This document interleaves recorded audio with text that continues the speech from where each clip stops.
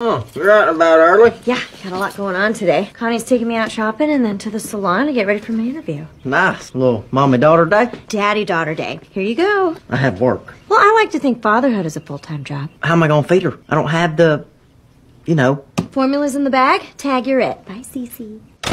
Well, looks like it's just me and you. Let me give you the tour. That's Axl Rose. He's awesome. That's the weight bench. That's where Daddy gets ripped. And that's the sink your mom totally peed in once. It's true. I know.